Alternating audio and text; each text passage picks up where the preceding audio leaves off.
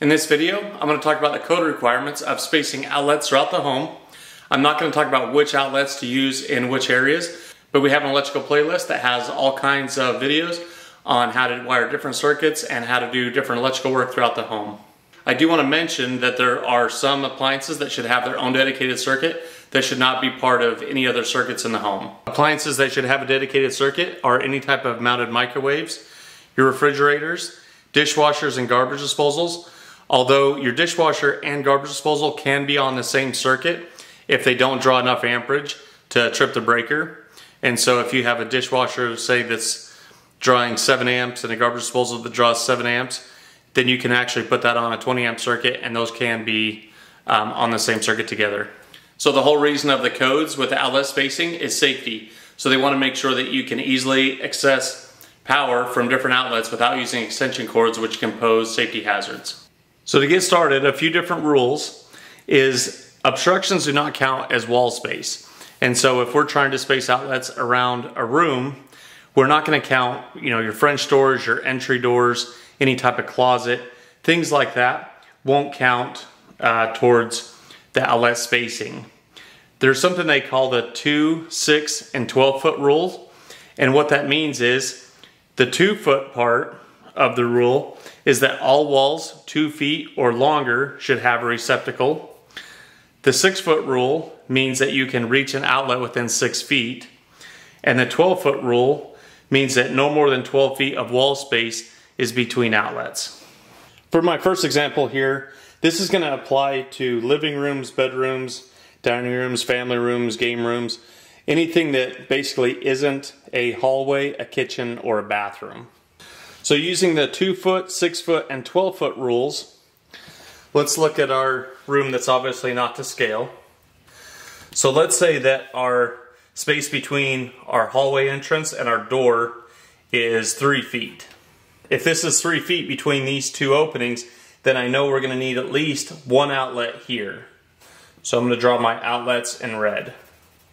Next, any obstruction, meaning the door, of the hallway, the double doors, or the coat closet, they need to have an outlet within six feet of them. And so let's say with the first door, let's say we put an outlet right here. And this is within six feet. So let's just say this is five feet between our first outlet and our door. So we've met this requirement. Now what we need to do is we need to start traveling around the wall and somewhere within 12 feet of the wall length, we need to get another outlet. So let's just say that we travel another six feet and we travel another six feet and we decide we're going to put an outlet right here. Well, now we've also met the requirement here because let's just say this is three feet to the double doors. Okay, so let's keep working our way around. Let's say we want to go six feet from the double doors. So we go six feet over and we put an outlet in. Now, somewhere within 12 feet here, let's say this is 3 feet and this is 9 feet, say to this point, somewhere between here, there has to be another outlet. So we'll just put the outlet, say here, say maybe like around 7 feet. Doesn't matter, as long as it meets that requirement. Now, let's say from this outlet to here, let's say this is uh, 14 feet. So now we have to go from this outlet somewhere between that outlet and 12 feet there needs to be another outlet. But we can also come off from here as well and make sure that we're within six feet of this coat closet. So we'll just put one we'll just say there's one somewhere around 10 feet between here and here And then there's four feet between our coat closet and our first outlet. So we've met the requirement. That's less than six feet. So we're still good to go. So we'll keep working our way around. Let's say we put an outlet here in the corner. It's also within six feet of the coat closet. And we just got to keep working our way around. So as long as none of these outlets are longer than 12 feet going along the wall, then we've met code so you can see why code requires the spacing. So if you have a lamp or some small device, usually they have about six foot cord somewhere on there.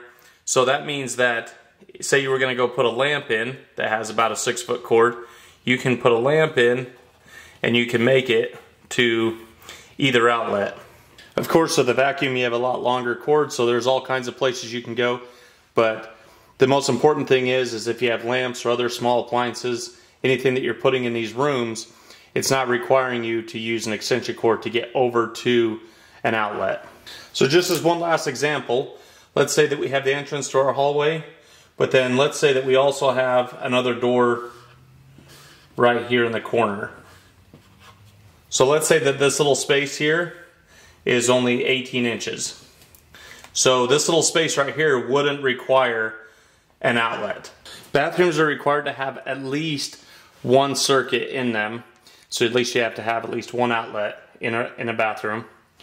The requirement here is from the edge of each side of the sink basin, you need to have an outlet within 36 inches.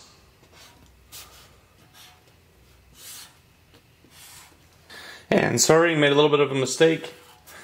When I said sink basin, I guess I meant there because I should have drawn a pedestal sink, but instead I drew an actual vanity type sink. So from the edge of the basin, somewhere within the edges of the sink, you should have an outlet. Now you only have to have one outlet at least but the lowest you can go with an outlet is 12 inches below the top of the sink. Kitchen countertop outlets have a one foot, two foot, four foot rule, meaning that any portion of the wall above a countertop wider than one foot needs to have an outlet. Outlets are required within two feet on either side of an obstruction or a sink basin, and there must be an outlet every four feet along the wall. Also, you're required to have at least two circuits serving a kitchen. So now we can start designing the outlets in our kitchen. So we know that for every obstruction, we have to have an outlet within 24 inches, within two feet of the obstruction. And so let's start with our refrigerator. First of all, we know our refrigerator is going to have its own dedicated circuit. But that one's not going to be included in the outlets that we're going to put in. And so coming off the, from the refrigerator, somewhere within two feet, we have to have an outlet. And let's just say that we put it at 18 inches. So that also meets the requirement for the edge of the countertop being within two feet of the outlet. Now we go from the refrigerator, come over two feet, with somewhere within the two feet, let's just say we come over two feet and we put in another outlet. Then we come over to our oven and somewhere within the edge of the oven, there needs to be an outlet within two feet. Now we go over to the oven, to the other side of the oven, and we put in another outlet, let's say at two feet. And then we have to start working our way around, and somewhere along the wall, within four feet, we have to have another outlet. So if we're at two feet here, there's only four feet left. Let's just put one about a foot from the edge, one foot from the corner. Well, then that means with this section here being five feet to the sink, then maybe we don't want to put in anything just yet. Maybe we go to the sink and now there has to be an outlet within two feet of the sink. So now we can bring our outlet here and let's say we're at two feet again or slightly within. I mean, obviously all the twos are like slightly within the two feet, the, the two foot mark. So we come over two feet. We have three feet and one foot, so we've barely made it. So if it gets a little bit tight, you might need to adjust these just a little bit. And then right here, let's say this is 18 inches here from the sink to the edge of to the edge of the countertop. We're gonna need one more outlet here. Let's say that this space here is another three feet. It's important to remember that wall space is not countertop space. So as soon as you cross this line here, this is the kitchen side, and then this is the rest of the house side. And so even though you have an outlet up here on the wall, I know we're looking down, but we have an outlet that is 18 inches from the edge of the countertop. And then we only have three feet to the door to another obstruction. So technically, we've met our six foot minimum, right? But technically, that's not right. As soon as you cross over from a kitchen and from the rest of the house, you have to observe the, pre, the rules for the house and the rules for the countertop. So you actually have to have an outlet down here, down here on the wall. The outlet up here for the kitchen, as soon as you cross over in the kitchen, doesn't count as wall space. And just remember the kitchen has to be serviced by two different circuits. And so if I was going to design this circuit, I might put these four outlets on one circuit and these four outlets on another circuit. This outlet cannot be on any of the kitchen circuits. The kitchen is just to be serviced by the outlets that are above the countertops. Those outlets that are part of the kitchen. So one last rule really quick. Let's say that we had our refrigerator here and we had our oven here. And let's say that this little space here, let's say we just had a little piece of countertop for some crazy reason, and let's just say that it was 10 inches. You technically wouldn't have to have a countertop outlet here because any wall space that is 12 inches or bigger needs to have an outlet. And so if you have two obstructions that are making it so your countertop space or your wall space above the countertop is less than 12 inches, you don't have to have an outlet. Hallways are a little bit trickier too. So if you have a hallway that's longer than 10 feet, you have to put in an outlet. So let's say we have a hallway that's 15 feet. We have to at least have one outlet. But that rule is only for a hallway that is longer than 10 feet without any obstructions. So let's say that we have a bedroom door here, and a bedroom door here, and a bedroom door here. Now let's say that this space between these two doors is only 8 feet. So now we technically don't even need a, an outlet here. And let's say that this space is 7 and this is 8 here. Or I guess it'd be a little bit less because of the door. So let's just say 6 and 6.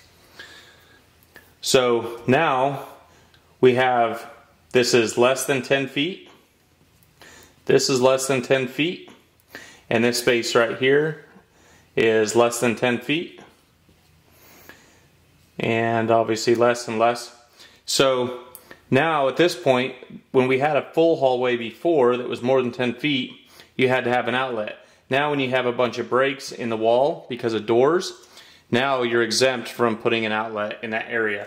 Of course, it doesn't make any sense not to have an outlet because if you're vacuuming or something like that, you would still want to put an outlet, at least I would, but it's not required by code. I hope this video helps kind of demystify the code requirements of outlet spacing in the home. And if any of these electrical videos have helped you out, please share them with people that might need this information. We're so grateful for everyone who has subscribed to our channel and support our channel. Thanks for watching.